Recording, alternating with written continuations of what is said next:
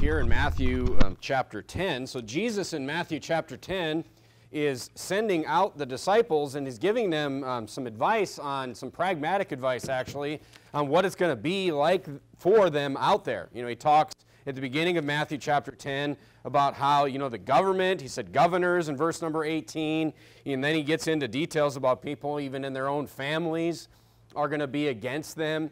Um, and then in verse number 34, or verse number 34 and verse number 35, where I'm going to focus you this evening, it, Jesus himself says this. This is Jesus' words here. Jesus is speaking. If you have a red letter Bible, these are red words. And the Bible says, Think not that I'm come to send peace on earth. I came not to send peace, but a sword.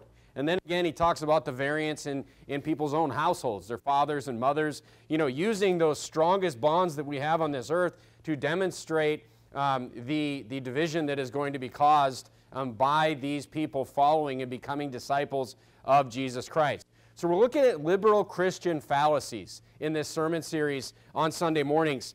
We're looking at things that Christianity, liberal Christianity, and I use Christianity pretty, uh, pretty loosely there, is teaching today that are not biblical at all. Um, last week we looked at this teaching that all sin is equal, you know, this ridiculous teaching that the Bible does not teach, that, you know, um, stealing a paperclip is as bad as killing somebody. That's not uh, in your conscience, that's not in the Bible, and I showed you how wicked that is. So this morning I'm going to preach against this idea of unity.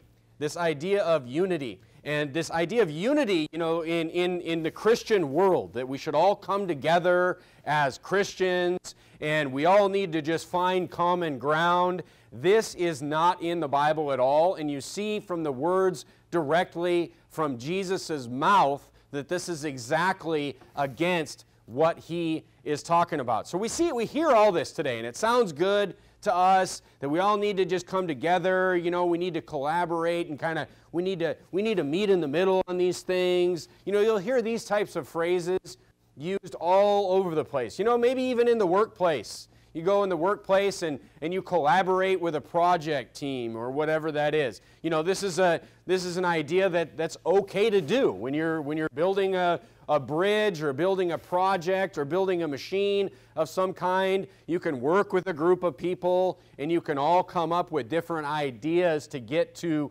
that end goal. But the point is, even those work environments and those secular situations, you know, you're still trying to build something that is very specific. You're still trying to build a bridge that is a certain length, it's a certain width, and it can hold a certain amount of weight. And if one idea, you know, means that our bridge will be half as long as it's supposed to be, and it will go only halfway across the valley. That's obviously not an idea that's good. But the point is, this is, this is work collaboration. This is secular projects and machines and designs. This is not talking, you know, this is politics today. This is politics today. Whereas, you know, politicians will get together, and this is why there's really no difference between Republicans and Democrats right here. Because they all get up and they say certain things, and this debt limit thing just drives me nuts. It's been going on for 30 years, ever since I been old enough to, to understand politics. You know, you say the, the, the Republicans are over here saying we need to cut this stuff, you know, and the, the Democrats are over here saying, no, we can't cut entitlement spending, and the, the Republicans are, we can't cut defense spending, and we need to invade everyone in the world, and we need all this money, and eventually they just give each other all the money, and they all make a deal, and it's all the same thing. That's what, that's what convergence, collaboration, and unity does for politics. All right? So that has nothing to do, we are to have nothing to do with that when it comes to the Christian life. And that's what I want to show you this morning. The Christian life is not to, the biblical Christian life is not to have anything to do with unity with other ideas and ecumenicalism. You think about all the different Christian denominations out there. You think about just all the Christian denominations out there. You have the, the biggest one, you know, you have the Catholic Church, right? You got the Catholic Church. Then out of the Catholic Church, you had, you know, you've got the Orthodox churches, you've got Eastern Orthodox churches. Out of the Catholic Church came the Protestant movement in the 16th century. You know, the Protestants being the Lutherans, the Methodists, the, uh, the Presbyterians, all came out of this, this great, you know, Reformation, it was called. But the point is, today, when you look at what pe most people think, especially people looking from the outside in at Christianity, people that are not Christians, the, the Muslim guy I talked to a couple weeks ago, they look at Christians as all just one thing, as all just one thing together. But I'm going to show you this morning that they're not just one thing. They're not just one thing, and we, have, we want to have nothing to do with this ecumenical idea that all Christians should, all Christian churches should be one and come together on things. Even though, look, even though we may look at certain Christian denominations and we may look at those denominations and people in those denominations, and many times we may see, oh, well, you know, we hold the same political views on certain social issues and all these types of things. It still has nothing to do with that we should become unified with these things. We are not a denomination. We are not a denomination. We are not a Baptist denomination. There are Baptist denominations. We are not. We are an independent Baptist church. So the question is this morning that I want to put to you this morning is should Christians be unified? You know, should Christians be unified? And the problem is really the definition of the word Christian right there. Because what people consider Christian is not what Jesus Christ would consider Christian. All right, so all that to say this we are a church, we are not a denomination. And we are not going to be unified with other denominations. Or we may be, you know, friends with other churches that hold the same doctrines and beliefs as us, but we are not and never will be a denomination. Look, folks, unification was the original problem. Unification is what started everything. In the early third century, there was something in 313 and then 335 AD, there was something where this Roman emperor named, named Constantine wanted to make Christianity the, he wanted to merge the Roman government with Christianity. So he invites all these bishops to this council so they can basically create their own religion. They can create their version of Christianity. Look, unification is the reason that it was doomed to disaster. So, what they did was they brought together this, this group of people that showed up and they came out with a creed. They came out with common you know, they came out with a writing, a creed, all these articles and all these beliefs, and ended up being the Nicene Creed that, that people know about it today. But look, it was the first ecumenical council. It was the first council of trying to bring everyone together and unify everyone. And it was not just unifying Christian sects, it was unifying the Roman paganism with Christianity. And then you get the Roman Catholic Church. Turn to Acts chapter 5. Turn to Acts chapter 5. First of all, you know, it was doomed to disaster because it was a political move in the first place. You know, Constantine was just trying to, you know, the Roman Empire at that point had been persecuting Christians for over 200 years, and Constantine was just trying to what? He was trying to bring peace. He was trying to bring political, you know, um, popularity to himself amongst this sect of believers, this, this new religion that he could not get rid of. The Roman Empire, the more they persecuted the Christians, the more they spread. Because that's how true Christianity works. The more persecution that is put, the more pressure that is put, the stronger it becomes. So look, look at Acts chapter 5, verse 29. The Bible says, Then Peter and the other apostles answered and said, We ought to obey God rather than men. Jesus, in verse number 18 of Matthew chapter 10, already warned the disciples the governors are going to be against you, the politicians are coming against you, everybody, including your own family, is going to be against you. And Peter and the apostles knew that we are to obey God rather than men. That is why the true Christians from Jesus' time all the way until today. It was the same thing at the founding in the United States. The true Christians, the true Bible believing Christians, never want to have anything to do with politics. They never want to have anything to do with merging with the government. It was offered to the Baptists at the foundation of the United States. in the late 1700s. It was offered to the Baptists, but be, before the First Amendment, they were going to sponsor five Protestant denominations. That was the original idea, is that five denominations would be sponsored by the government, and you could choose which Protestant denomination you wanted your tax money to go to. And the Baptists, by John Madison, or James uh, Madison, were given an opportunity to be one of these five. They're given an opportunity for once in history to have a seat at the table. And the Baptists said, We want to have nothing to do with this. We want to have nothing to do with being joined by the government in any way. We don't want to be part of all these different Protestant denominations. Turn to Hebrews chapter 10. Turn to Hebrews chapter 10. So look, this Council of Nicaea, this Council of Nicaea that brought all these Christian bishops together, look, folks, none of the saved people showed up. None of the saved pastors showed up to that meeting because the goal was to create a state church, which Bible believing Christians have never wanted anything to do with.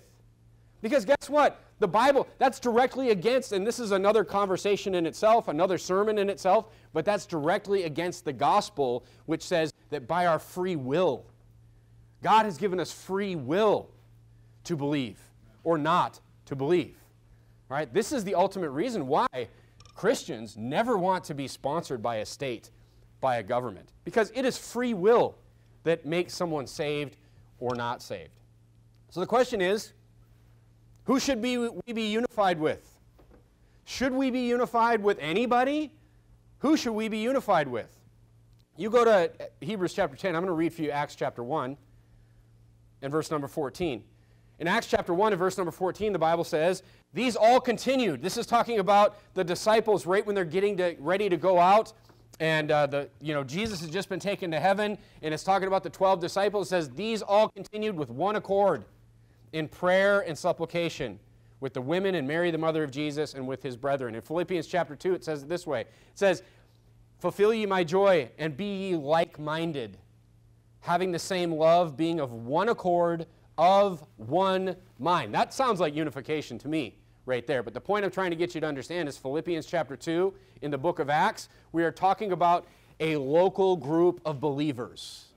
We are talking about a local group of believers. That's what a church is in the Bible. And the biggest heresy, the, the first heresy that came out of the Council of Nicaea in the third century was this idea of a universal church.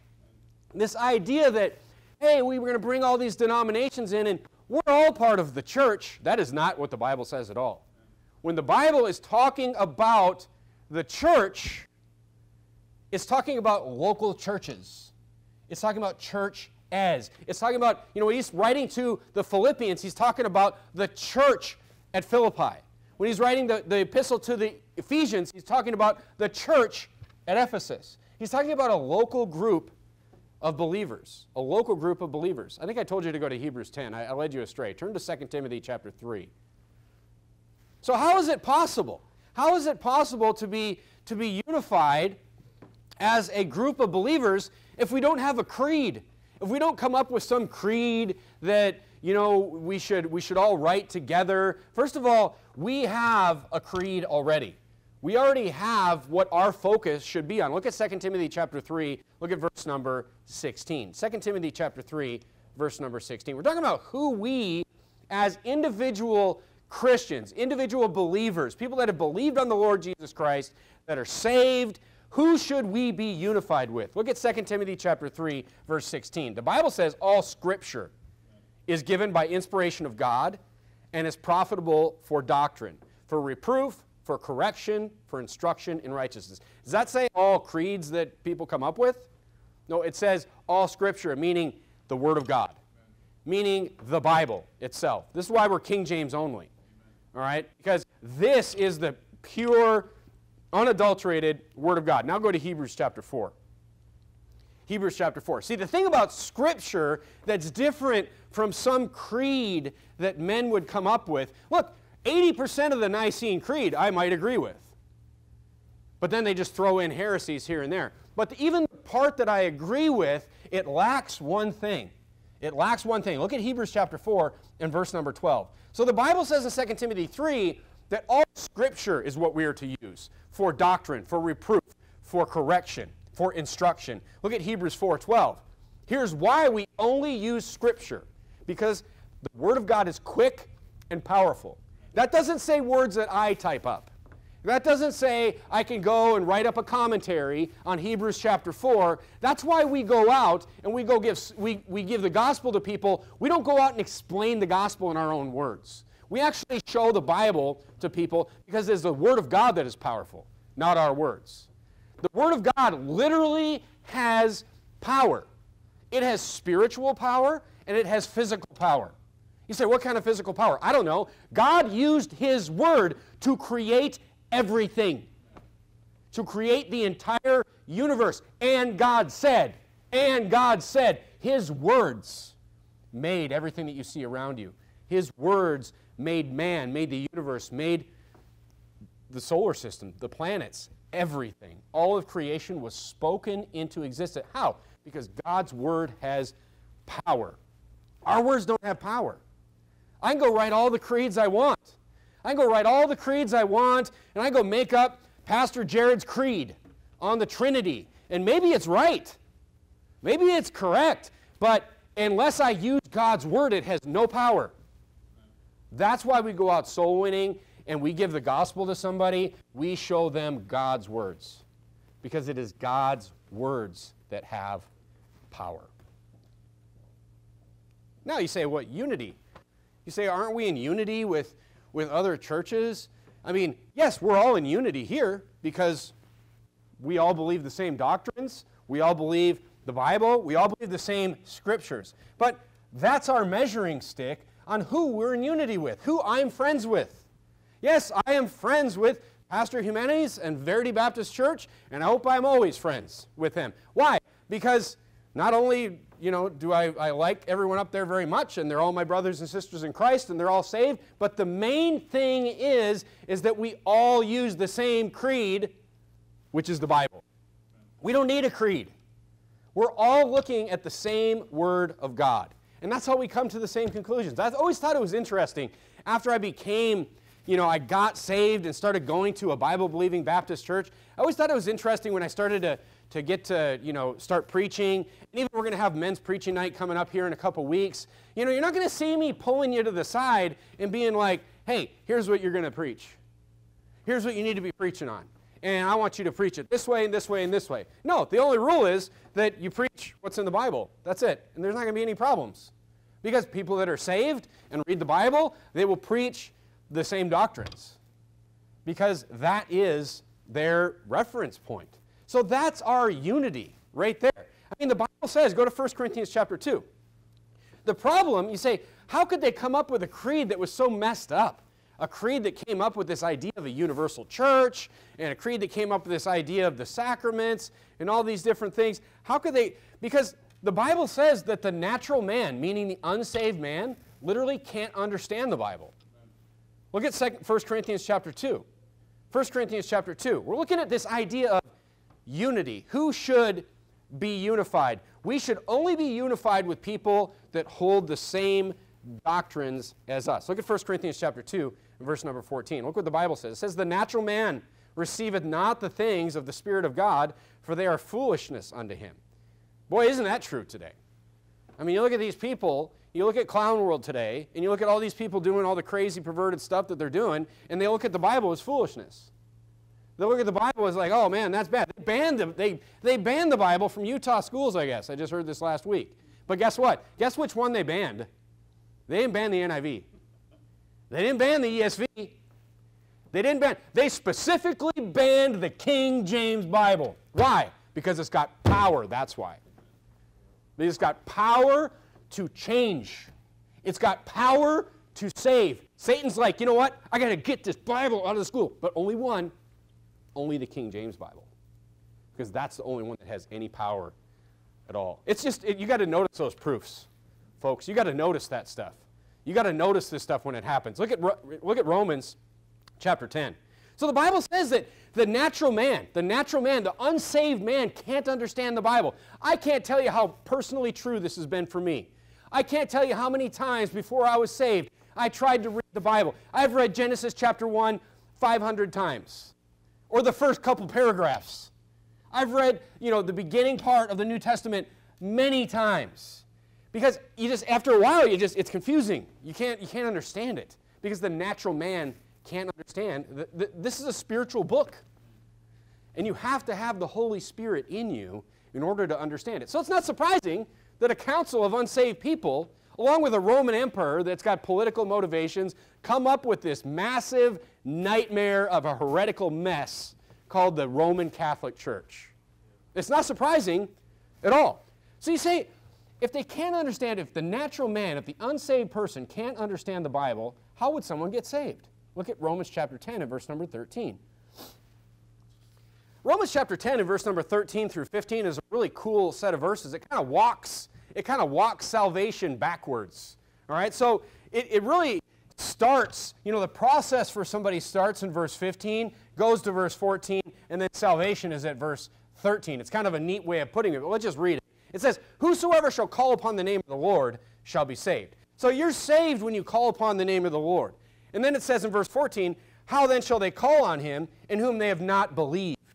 All right, so first you must, you, you must believe and then call upon the name of the Lord. Basically, tell God you believe. All right, and then look what it says, And how shall they believe in him of whom they have not heard? And how shall they hear without a preacher? And how shall they preach except they be sent?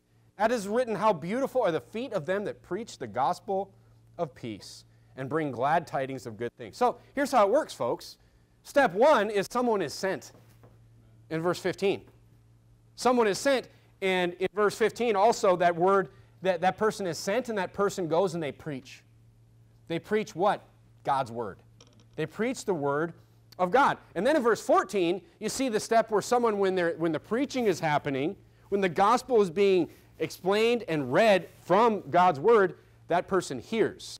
They hear God's Word, and then at that point, that person believes. This is the, this is the connection between how someone that can't understand the Bible could believe on the Lord Jesus Christ. And of course, after they believe, verse 13, they call upon the name of the Lord. All right? So that's how that works. That's, it's, that's why we are called to go out soul winning. We are called to go out and preach the gospel. Because look, that's how people are going to get saved. And we see that every single week here. All right? But look, let's go back to this idea of the universal church. The idea that these church, the church should just get together. The Bible teaches, turn to 1 Corinthians chapter 14. I'll read for you the heretical statement from the Nicene Creed, okay, that came out of this council of Nicaea. It says, we, you know, it always it says we believe in these, these statements in the Nicene Creed. And then it says, We believe in one holy, Catholic, and apostolic church. We acknowledge one baptism for the remission of sins. We look for the resurrection of the dead and the life of the world to come. Amen. So, first of all, there's two heresies right there, but they're basically, you know, that's where the idea of the universal church came from, is this creed right here. We believe in one holy and apostolic church. What they did there was they're claiming a monopoly on Christianity.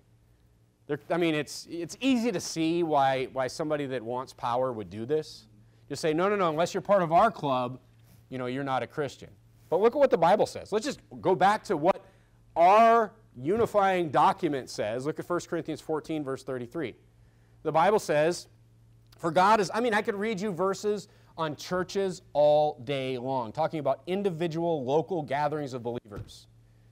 For God is not the author of confusion, verse 33, but of peace, as in all churches of the saints. Why didn't he just say, as in the church, as in God's church? In Revelation chapter 2 in Revelation chapter 3, why did he call out individual local churches? Why did he say the seven churches in Asia? Why didn't he just say, This is my message to the church?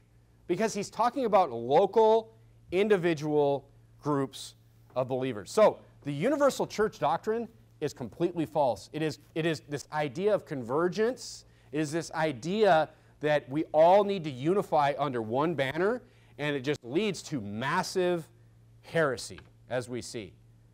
I mean, look at every single denomination today, folks. Every single denomination today even, even forget the universal church. Every denomination is corrupt. Name me a denomination that, that's not corrupt today.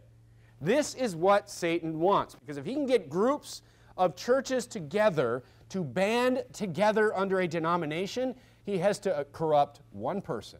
He has to corrupt one president, one CEO, one board of directors, one whatever. And he gets them all. This is the problem. This is why the Bible only teaches individual churches, period. Now, let's talk about lines that we should draw. Let's talk about, you know, just points of unity that we should draw as Bible believing Christians. All right, the first one is this. The first one is this. Turn to Galatians chapter 1. You will find people argue with you about this all the time. I have people argue with me uh, that, that have been close to me in my life. People argue with me at the door about this. The first line that we will draw that will upset people, that will bring division with people, the first line that we draw, and look, it's a line being drawn by Bible believing Christians since the time of Christ. And that first line is the gospel itself the gospel itself. This is the first line of division. Look at Galatians chapter 1. You say people say, "What's the big deal?" People say, "What's the big deal?" They believe in Jesus, you believe in Jesus. Calm down. Independent fundamental Baptist, King James only. Calm down. They use a different version of the Bible. It's all the same Jesus. Just calm down, buddy. But no, we must have division here. You say, why? Because it's a big deal according to the Bible. That's why. Look, it's not my opinion. Let's just look at what the Bible says. Look at Galatians chapter 1 and verse number 6. Paul is talking to, a church that he was at, and then he left, and, and like, like as soon as he left, like they started going astray. People came in teaching false things. This shows you when did false doctrine start in the church? Right away. Right away, there's wolves coming in. Right away, there's false teachers coming in. Right away. These lines must be drawn, and they must not be dotted lines. They must be bold lines. Look at this language. He says, I marvel that ye are so soon removed from him that called you into the grace of Christ unto what? Unto another gospel, which is not another. He's saying, you're not even holding the line on the gospel, is what he's saying. He's like, you're being called to another gospel, but he's saying, like, it's not a gospel, though. If, if you change the gospel, it's not the gospel. What he's saying. But there be some that trouble you. So look, false teachers came in, and they started doing what? They, per, they and would pervert the gospel of Christ. So people came in, and they started perverting the gospel of Christ. What does that mean? They started changing the truth of the gospel. They came in and they started teaching different things. They started, and I guarantee you it was some, in some form of works based salvation. That's what the Bible says. It was some form of, oh, yeah, you know, it was Jesus that died for you, but you also have to do this. And that was the very first perversion of the gospel from the Roman Catholic Church as well, was with the addition of baptism of infants into salvation. You must be baptized in order for your children to be saved. That is a false perversion of the gospel. And you say, what's the big deal? What's the big deal if they just bolt that on? Well, let's keep reading. Look at verse number 8. It says, But though we, this is how serious he is. He says, Though we or an angel from heaven. That's interesting because how many false prophets out there have claimed that they heard their new revelation, Book of Mormon, or their new revelation, you know, Muhammad, or whatever it is, from an angel? From somebody that, some spiritual being that told them this great truth that they led into, people into false religion. They led people into false beliefs. It says, though we are an angel from heaven, preach any other gospel unto you than that which we have preached unto you, let him be accursed. You need to pay attention when things are repeated in the Bible. But let me explain something to you. Accursed means damned. Paul is saying is if anybody comes and if anybody walks into this building and starts teaching amongst the church people that in order to go to heaven, you need to be baptized. Look, is baptism good? You bet it's good. You should get baptized after you're saved. But baptism has nothing to do with you going to heaven. But what if we just bolt that on? What if somebody comes in and says, yeah, but to be saved, you need to believe on Jesus, trust on Jesus, and you need to be baptized? It says, that person, let them go to hell. Let that person be damned, is what Paul is saying. Well, this is strong language right here. Look at verse number 9. Just to make sure you didn't hear it, I'm going to say it again, Paul says. As we said before, so I say again. If any man preach any other gospel unto you than that we have received, let him be accursed. Let him go to hell for eternity. That's what Paul is saying. If anybody comes in, it sounds like a big deal to me. It sounds like somebody we shouldn't unify with. It sounds like, oh, the Church of Christ. You look at the guys at the Church of Christ, they, they preach these great moral things. You know, uh, Duck Dynasty guy gets up and he gives this great um, speech about family and all these things. They believe you have to be baptized to be saved. It's false doctrine. The Bible says, let them be accursed. You say, oh, it's so divisive. But that's what the Bible says. That's why we're divisive. And that's why Jesus himself said, I came to divide. I came to bring a sword. Look at Romans chapter 11. See, here's the problem. So we see that if anybody changes the gospel, we can just close this, this topic right here.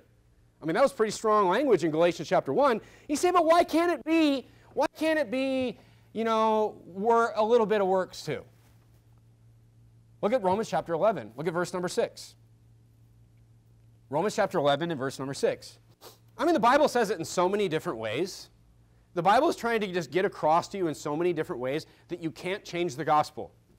And he says in Romans or Galatians chapter 1, if you change the gospel, it's not the gospel, is what he says. In verse number 11 or verse number 6 of Romans 11, he says, "And if by grace, because the Bible says for by grace are ye saved through faith." So he's saying if you're saved by grace, grace meaning something you don't deserve. If you're saved this morning, you didn't deserve it. It was a gift that was given to you. If you're saved this morning, you didn't do anything to get that. The Bible says that it was given to you for free.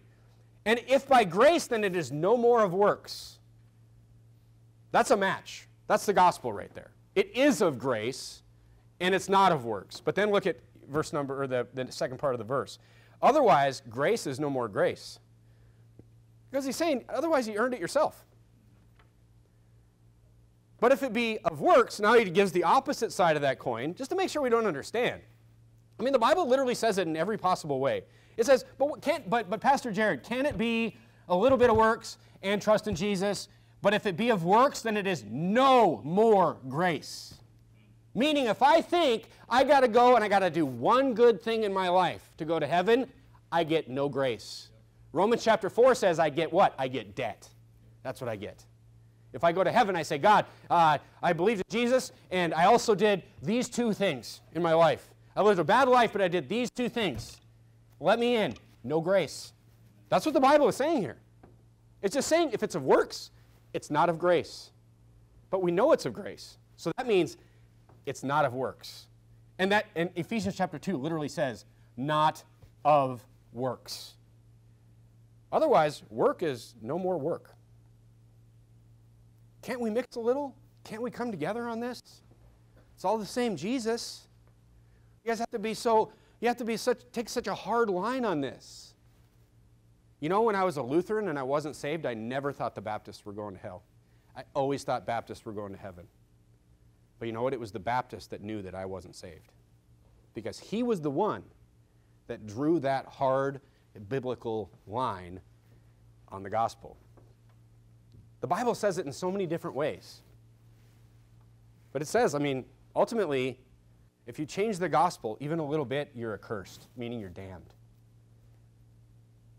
And there's no grace, you're not saved if you change the gospel. So look, it's us causing division here.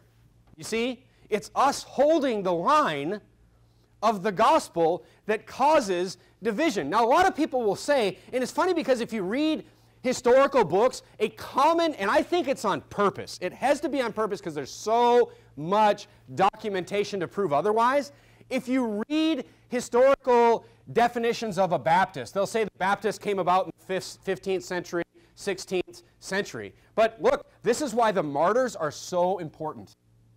You say, why did God allow Christians to be killed in so many different ways and all these horrible you know, accounts of Christians being killed. Why was it? It's so we can know the lines that were drawn. That's how. We, that's why. So Baptists were, the denomination. It's a Protestant. It's not a Protestant denomination, and it was not formed in the 16th century. I'll prove it to you right here. Here's a decree. Here's a decree that came from a Roman emperor in the fourth century after the creation of the Roman Catholic Church. Here's a decree. You tell me, if there wasn't Baptists around, why would you need to make a decree like this? Why would you need to make a law that says this? This is a political law, folks. This is a Roman law.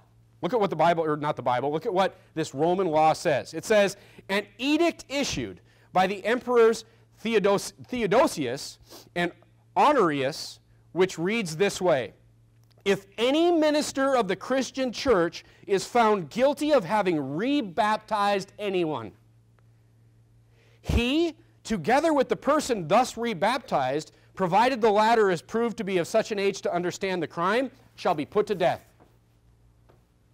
In the fourth century, this was in, this was in, um, this was in the fourth century, the early fourth century, that this decree was made. Why, if there wasn't people going around, why did they rebaptize people? Why were they called Anabaptists? That, you know what that means? That's making, you know, even the name Anabaptist proves that this came out of the false doctrine, the false perverted gospel of the Roman Catholic Church. Because what they were doing is they were rebaptizing people. That's the name they were given, but really they weren't rebaptizing people. They were taking people that were baptized as infants, which is not baptism. They were taking people that are now adults or old enough to understand. They were preaching the gospel to them. Those people would get saved, and then they were biblically baptizing people. And that's why the Roman Catholic Church and you know all the bishops of the Roman Catholic Church labeled them Anabaptists, rebaptizers. And they literally tried to kill them all that were doing this. But what does that do? That just makes Christians stronger. It just makes Christians, you know, push harder. Turn to Matthew chapter 7. So po- the, the point is this, folks.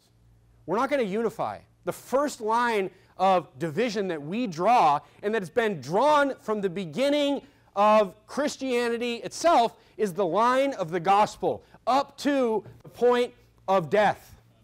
Christians, I mean, they wouldn't allow it. They wouldn't allow anything to be bolted onto the gospel because it's a perversion of the gospel. They knew what the Bible said. Turn to Matthew chapter 7. Turn to Matthew chapter 7. I mean, not only does the Bible give us this clear scripture saying if it's of works, it's no more grace, saying if anyone changes the gospel, they're accursed. Not only do we get that, Jesus gives us a literal example of this in Matthew chapter 7. These are all red words if you have a, a, a red letter Bible. This is Jesus speaking. Look what Jesus says. Jesus literally says here, He says, Not everyone that saith unto me, Lord, Lord, shall enter into the kingdom of heaven. Jesus is saying that when people, you know, these people here, they call Jesus Lord. They believe Jesus was God. They believe Jesus was the Son of God. They believe Jesus came and died. They believe he rose again from the dead. That's what these people believe. It says, not everyone that does that, though, is going to go to heaven. Look at verse number 22. It says, many people, many will say to me in that day, when they're standing in front of Jesus, says, Lord, Lord, have we not prophesied in thy name? In thy name cast out devils? In thy name done many wonderful, what? Many wonderful works. What's the problem people. These people are going to stand in front of Jesus and they believe Jesus is God. They believe Jesus died on the cross. They believe Jesus rose from the dead and they're going to proclaim their works to Jesus. How's that going to go? Let's keep reading. And then I will profess unto them, I love this part right here. Then I will profess unto them, I never knew you. Depart from me, ye that work iniquity. These people are going to go to hell. You say, why? Is there bad people? We might look at these people and say they lived a wonderful Christian life. But these people stood up and they professed their works. And Jesus says, I never knew you. They knew him. Look, folks, it doesn't matter if we know him, it matters if he knows us. And he knows us by us trusting on him and him sealing us with the Holy Spirit, us being saved. Notice how it says, I never knew you. It doesn't say, like, oh, I used to know you and then I forgot you and then I knew you again. No, once Jesus knows you, he knows you. But these people, he never knew them. They were never saved, is what the Bible is saying. They claimed the name of Jesus, Billy Graham. They claimed the name of Jesus. All these preachers out there that are just spewing Jesus all over the place and saying, Repent of your sins to be saved.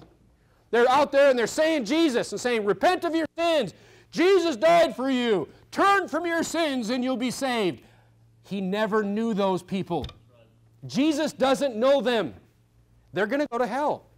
And the sad thing is, those false teachers are going to bring a lot of people to hell with them if they believe that bolt on works. You say, yeah, but yeah, Jesus. But these people call Jesus Lord, and they're going to hell because Jesus never knew them.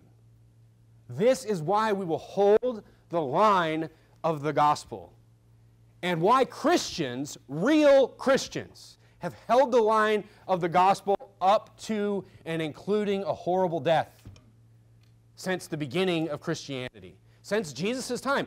Every single one of the disciples did this, except for John. He got banished. But every single one of the 12 disciples died a horrible death because they would not recant the gospel. Turn to Matthew chapter 10. Actually, you, you turn to Luke chapter 12. Turn to Luke chapter 12. I'll just read for you Matthew chapter 10. But look, folks, we're not holding the line just on the gospel. The gospel, yes, we're holding the line on that, but we're not holding the line just on the gospel. We're holding the line on all matters of faith and practice. On everything in the Bible, we are holding the line on. And look, Jesus himself was against unity. He was against it. I mean, that's what, that's what all these, a lot, lot of these martyrs mirror detailed stories. I mean, they, it gets incredibly detailed of some of these people that were put on trial, some of the things that were done to these people.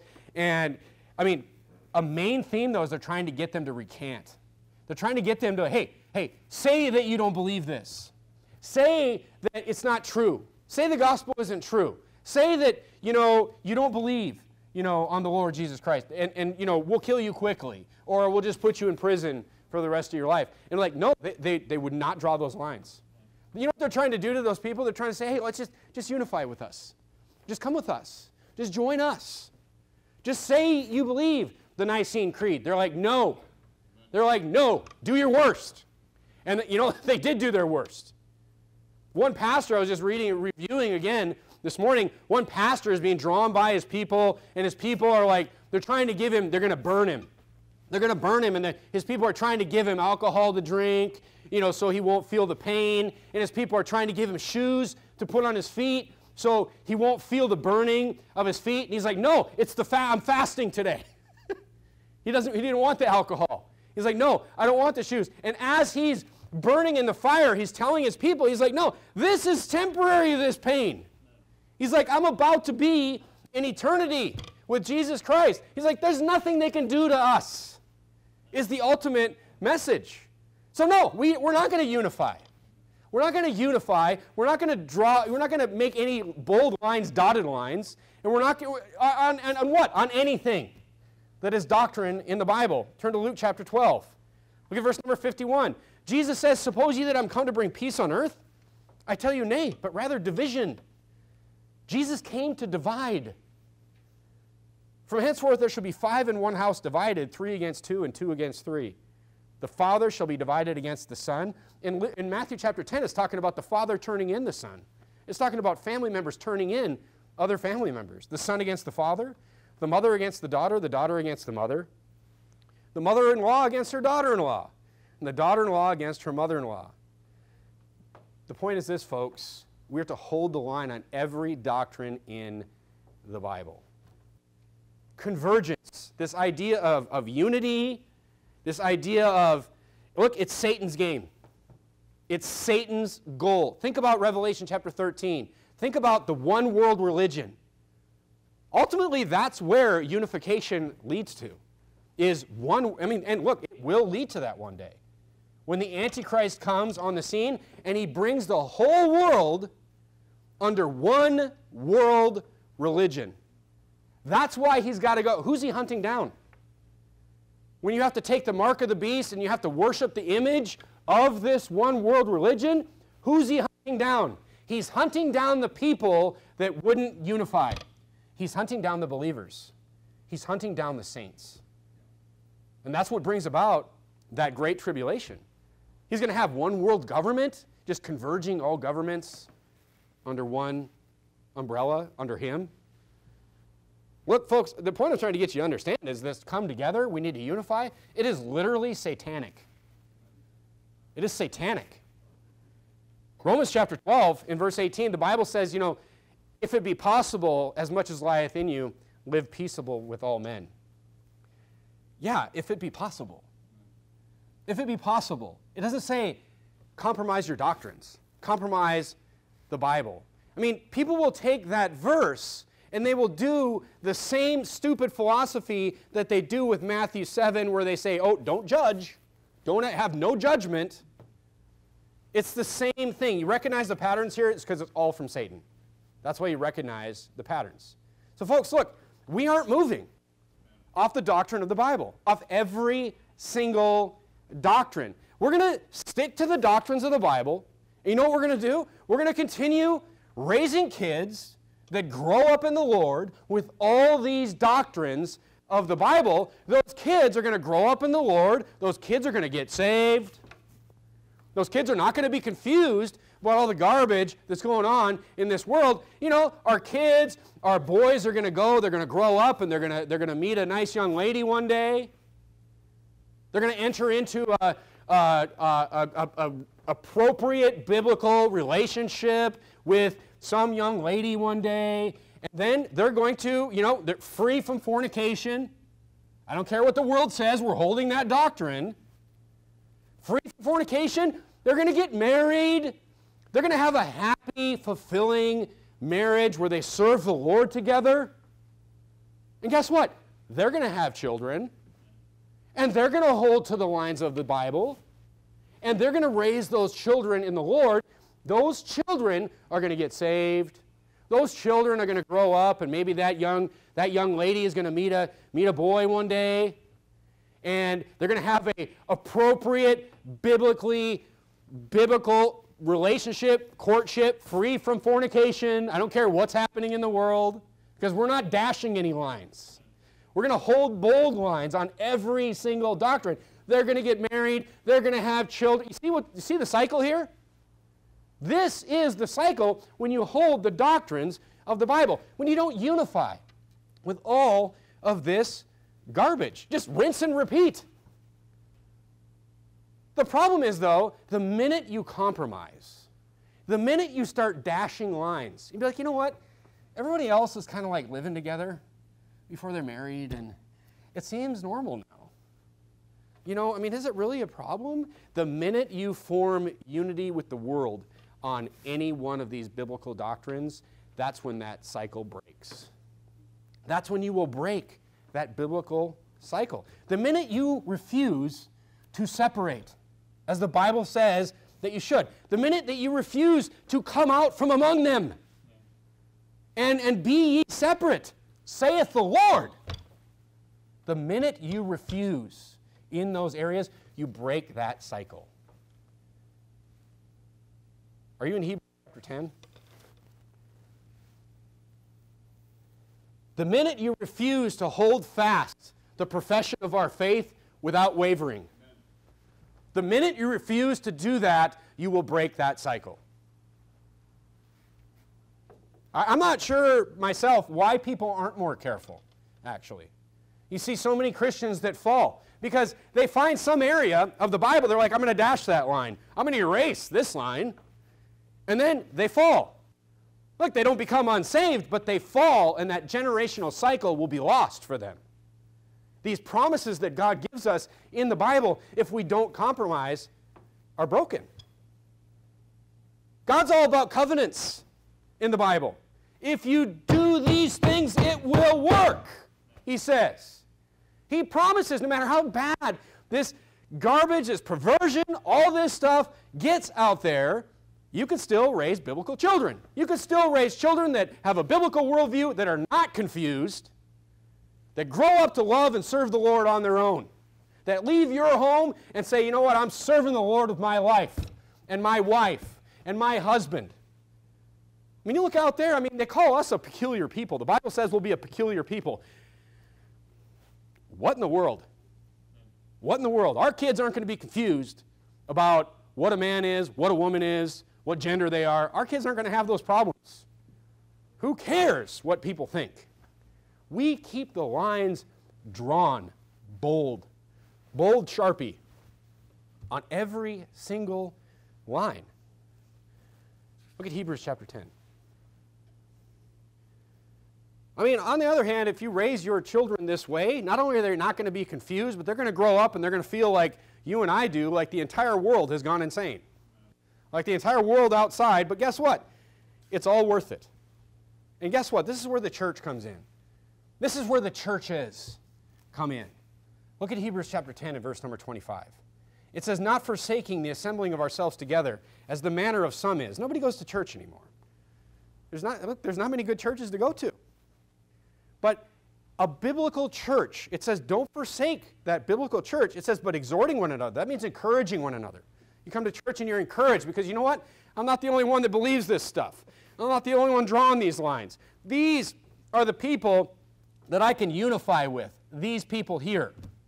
And so much the more, as you see the day approaching, the worse it gets, the more important having a biblical church is. That's what it's saying. And look, I just think about, I was thinking about this last night. I was, I was visiting with Pastor Jimenez, and I was just thinking about, I was thinking about Verity Baptist Church, and I was thinking about this church. Of course, we, I was sent out by Pastor Jimenez and Verity Baptist Church. Everybody here knows that.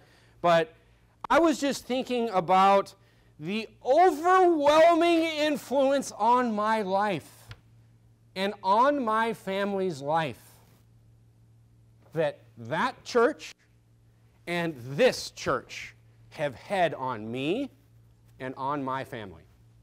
Overwhelming, 90 degree turns, just completely changed my life, the direction of my life, the direction of my children, the direction of my wife, completely changed from that ministry and now this ministry.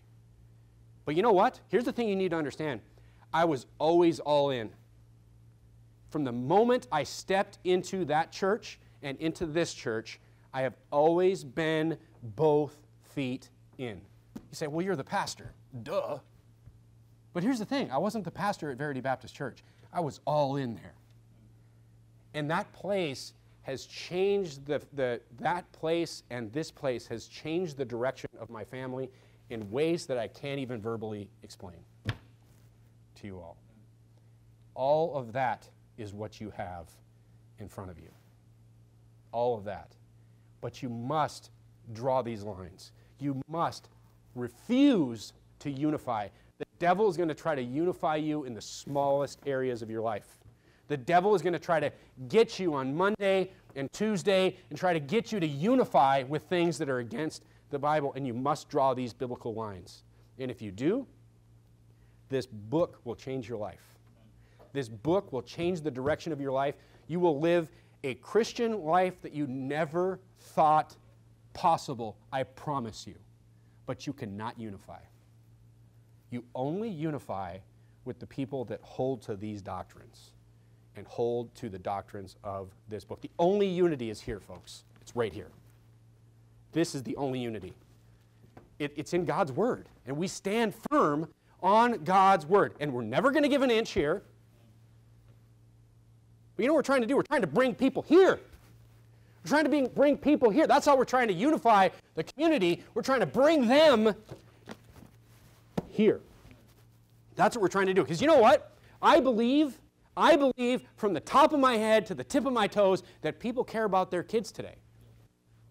You know, I care about other people's kids that we see every week out there. We're knocking on their doors. I care about these children that we see out every single week. And I don't want them thrown into these meat grinders that the devil has waiting for them out there. And I believe that people know that is something there's something terribly wrong with all this satanic influence happening today. I believe people know it. But the only unity is to bring them to the Bible. The only solution is to bring them here is the only solution for them. Because why? Because it's true. And because it has power. those reasons right there. This has the power to save. This book has the power to save. This has the power to deliver. And the only union is to be in the Bible with other believers. And that's why we're against this unity and convergence that liberal Christianity has been pushing since the beginning of Christianity. And it's still pushing today that we all need to come together. No, we're unified with people that are here, and that's it. And we'll always be an independent church, and we'll always be based on God's word. And we're not giving an inch. Let's bow our heads and have a word of prayer.